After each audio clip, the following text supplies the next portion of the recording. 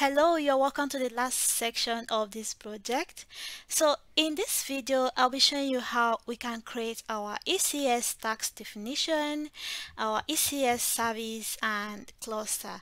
Okay, so the first thing I need to do right now is to go and locate ECS service.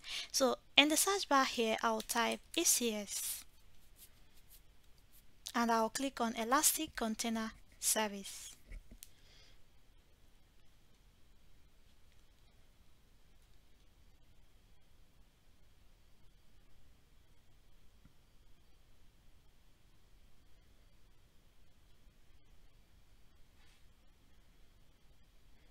All right so this is the service and i believe you must have you know become familiar with elastic container service okay?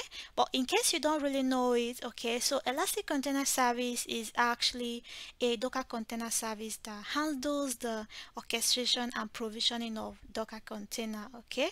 So it's a highly scalable and fast container management service that makes it easy to run stop and manage containers on a cluster so the first thing I need to do here um, just at the left navigation pane I'll click on task definition so the first thing we'll be creating is a task definition. What is a task definition? It is actually a blueprint that describes how a Docker container should launch.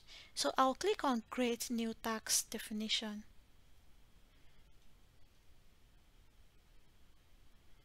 And I'll click on create new task definition down here. Alright so here under task definition family I will go ahead and give this task definition a name. I'll name it ECR task definition all right so scrolling down over here so we need to give our container detail. So I can just name it whatever I want. ECS container one alright? So this image URI is actually the URI of our ECR repository. So I'll go over to my ECR repository um, gonna type it here ECR Elastic Container Registry.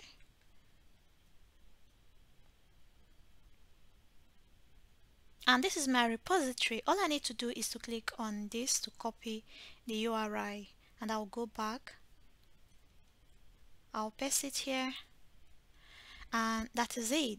If I scroll down the port mapping is fine port 80 and the protocol TCP port name everything is fine here. I'll scroll down.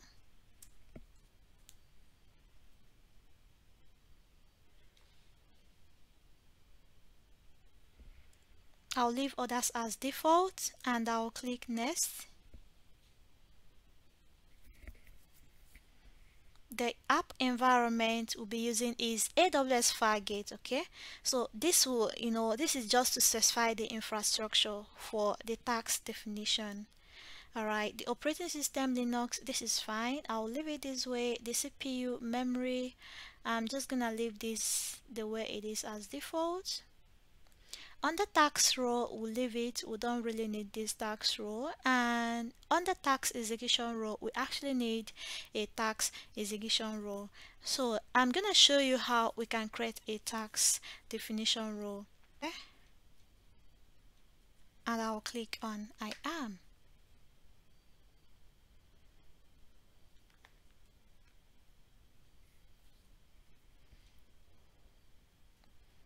okay. So here I will just click on the roles okay we'll go ahead and create a new role I'll click on create role if I scroll down the trusted entity type is fine. If I scroll down so here I'll be clicking on this um, down arrow to select um, so I'm gonna type ECS is not okay I'll type container. Elastic container service okay I'll select it. Alright so scrolling down I will see Elastic Container Service task. This is what we need. I'll just select it okay and I'll click next. If I scroll up so the permission we'll be given to this is um, Amazon ECS task execution role policy. So I'll type Amazon ECS task press enter. Awesome this is it here. I'll just select it and click next. Please ensure you're selecting the right in Amazon ECS task execution role policy. Alright select next and here I'll give name to this role execution make name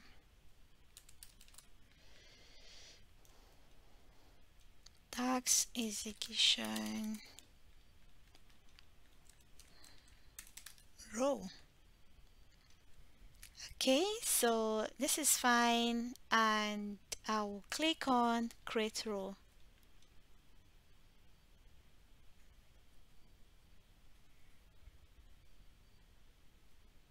awesome so this role has been created. I'll go back to continue with my task definition creation. So here I'll need to actually select the role. So this is it here. It is showing already. Alright, so if I scroll down,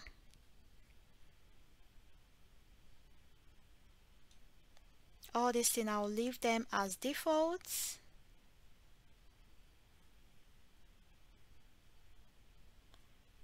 Let me see the okay. Okay I'll click on next. And here is to review and create. Everything is fine. I'll go ahead and click on create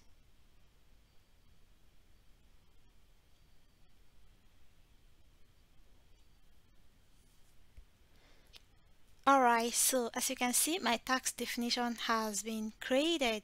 So the next thing we'll be creating right now is ECS cluster.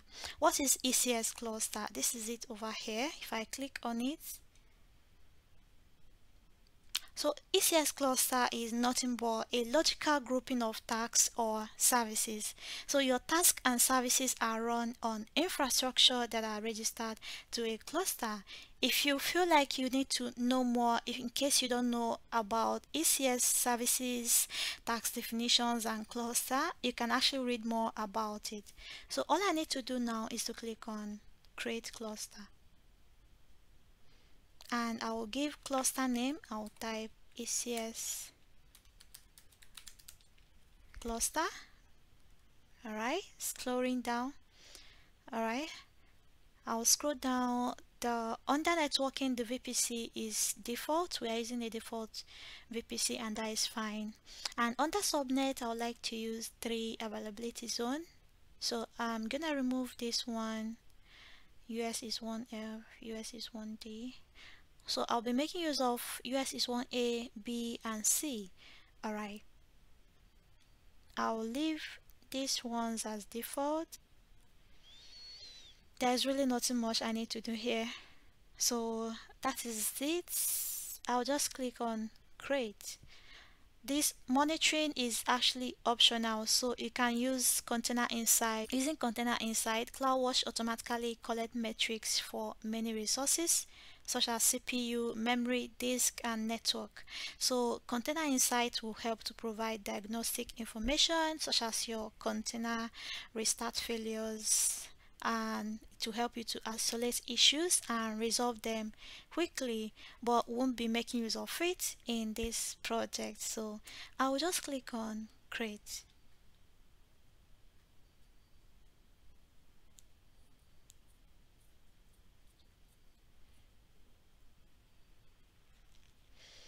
this can take maybe a minute or two so I'm gonna wait for it to finish creating. Awesome. It has actually created successfully.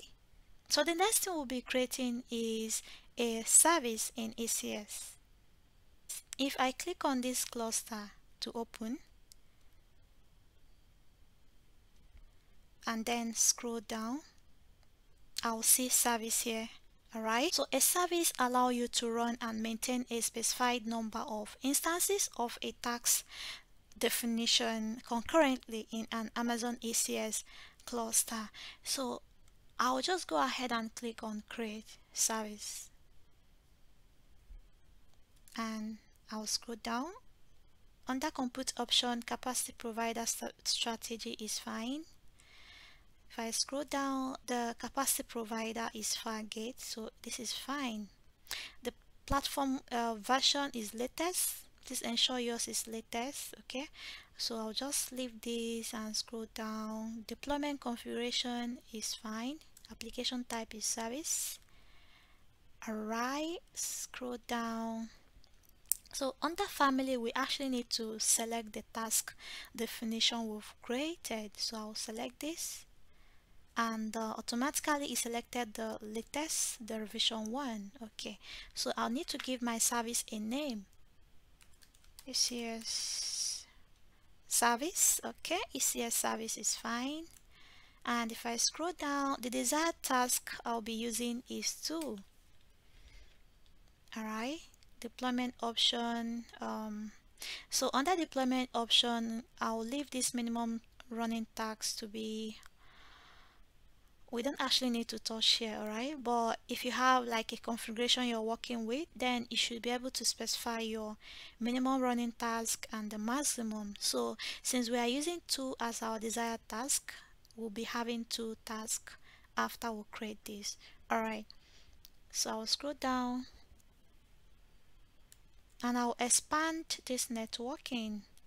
So scroll down I'll select I'll choose three subnets so okay I'm left with US East 1A US US East 1B and US East 1C alright if I scroll down I'll be creating a new security group here. So I'll select on create new security group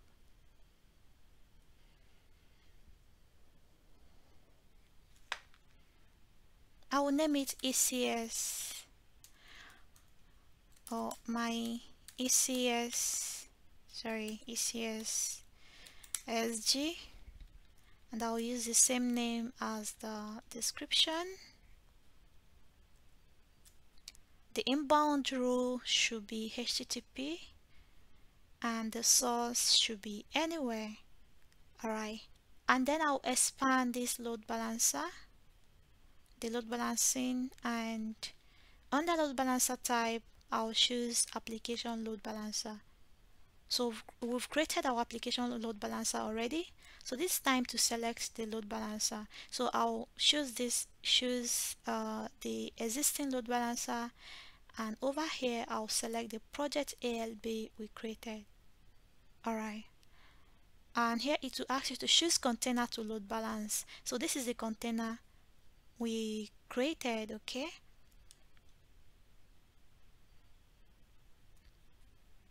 Remember this container was specified when we created our task definition. That was when I named it ECS container. Alright, so this listener is good here on port 80 and that is fine. So if I scroll down, I'll actually create a new target group for this service. So I'll name it TG uh, service target group and that is fine. So um, this is good the way it is. We won't be using auto scaling option for the purpose of this project. So I'll click on create okay it took me back to port and it said listener port already exists. Please specify a unique okay? It already exists. So I'll use use an existing listener and I'll select 80 okay? So that is fine. And the evaluation order I'll just give it one and that will be fine. And um, okay parts pattern uh, just give it asterisk and that is fine. So if I scroll down I should be able to create my service now.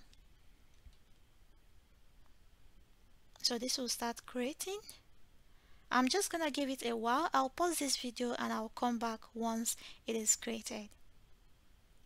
After waiting for about two minutes or thereabout I could see that my service has been created successfully.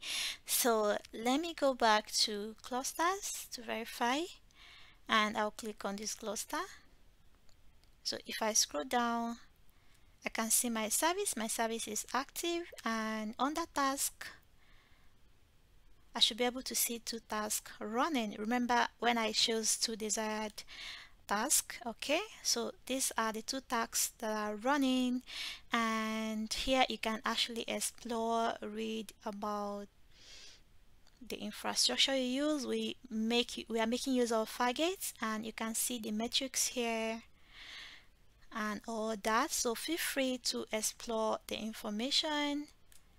If I go back to my task definition and click on this task definition we have the revision 1 running here. I can open it. And then this is the information and all. Um I want to show you something in the service section. If I click on this service and then under logs I uh, actually you should be able to see log. We don't have log here but you can actually view it in CloudWatch you can view your configuration and task and then the deployment and event. So under deployment and event you should be able to see your deployments and events that took place over here. Alright, under networking, we should be able to see the information about, you know, information concerning networking. And this is load balancer here. And if I copy this DNS name, which is actually the DNS of the DNS name for our load balancer, we should be able to you know access our application because yeah our application has actually been deployed so let's validate what we've done and see if we can access our application so having copied this DNS name I will go over to the browser I'll press enter Awesome. As you can see, our application is up and running. We've successfully containerized our application and ECS is helping us to manage our Docker container. Our application is running inside a container and we've pointed a load balancer and because we have two tasks running, Load, this load balancer can help us to balance the traffic between these two tasks in our service okay? So with that we have high availability. In case if something happens in one availability zone it can actually fail over to another. So yeah this is a good configuration and you should be able to discuss this in your interview. Feel free to you know have this project in your resume have it in your github and this is a boost to your profile actually. And thank you so much for staying true in this project. I'm gonna show you something in case you have issue uh, in case you are not able to view your application. So let me take you back to ECS. Under your cluster, let me click on cluster here, select my cluster. If I scroll down to service, click on service. You can see I have two targets. They are actually healthy. So I can go ahead and click on these two targets I have here. I need to open in another tab.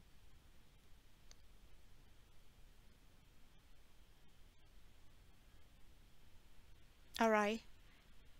If I scroll down, you can see my two targets are actually healthy. So in case yours is not healthy, that means something is wrong somewhere.